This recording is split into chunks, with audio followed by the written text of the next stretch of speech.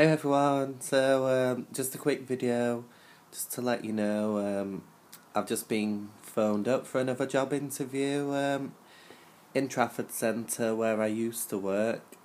But this time I'm not going to be telling anyone on YouTube where it's at because I don't want to jeopardise um, in case I don't get it. But fingers crossed hopefully I will get it. Um, I think I'll definitely get it this time. I'm going to put all the effort in and this I'm really keen. It's permanent, uh, full time, 40 hours a week, which is like double of what I was on in my last job. Uh, you get Christmas bonus for, I think he said it were £120 in your wage. Um, so yeah, that's good news. The other job that I applied for was Harry Ramsden's, um, but they didn't have a permanent full time position. But she did ring me up and say, soon as they get a job, which is full time, that job is mine, and she actually offered me that job. Uh, but at the minute, I'm just like waiting, so I think I'd rather just apply for other jobs.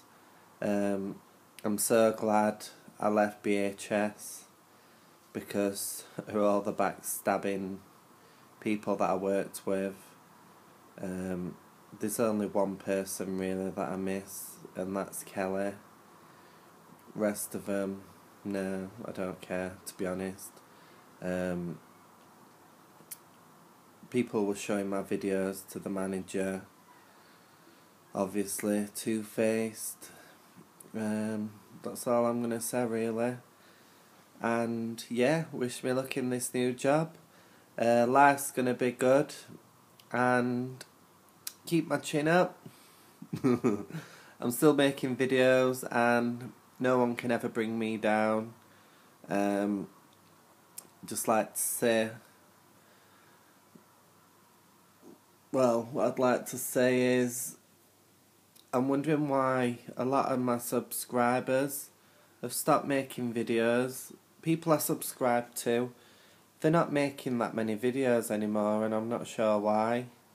Um, maybe they're on holiday or taking a break, I don't know, but I'm going to keep my videos coming while I've got time.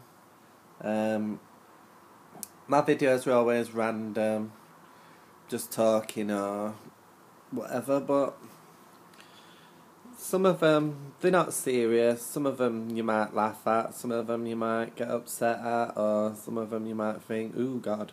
But this channel, it's not. It's just like a personal diary, really, for me. Uh, so I can look back and think how my life's changed, and when I win that big jackpot on the lottery, all them millions I'll remember all the people that were nice to me and all the backstabbers and they'll see what goes around comes around. So yeah, keep subscribing and I'll see you all soon. Uh, watch out for the next video. Okay, so wish me luck. Bye everyone. Bye.